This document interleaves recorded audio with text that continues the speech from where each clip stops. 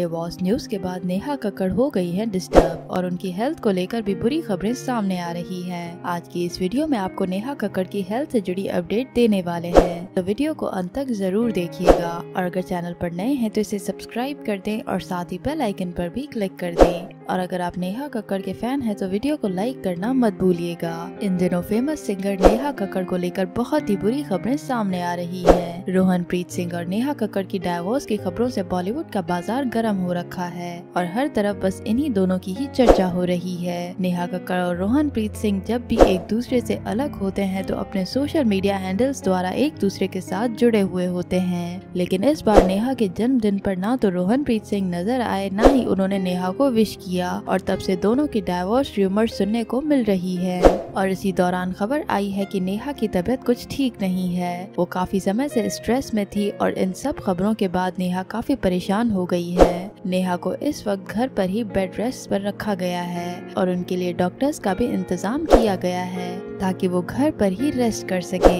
हम आशा करते हैं कि नेहा कक्कड़ जल्द से जल्द ठीक हो जाएँ और अपने काम पर फिर से लौट सकें और उनके और रोहन प्रीत सिंह के बीच जो भी प्रॉब्लम्स है वो जल्द से जल्द ठीक हो जाए। और दोस्तों, आपसे भी ये रिक्वेस्ट है कि नीचे कमेंट बॉक्स में इस कपल के लिए प्रेयर्स लिखना मत भूलिएगा और साथ ही नेहा की हेल्थ के लिए भी बेस्ट विशेष लिखना मत भूलिएगा।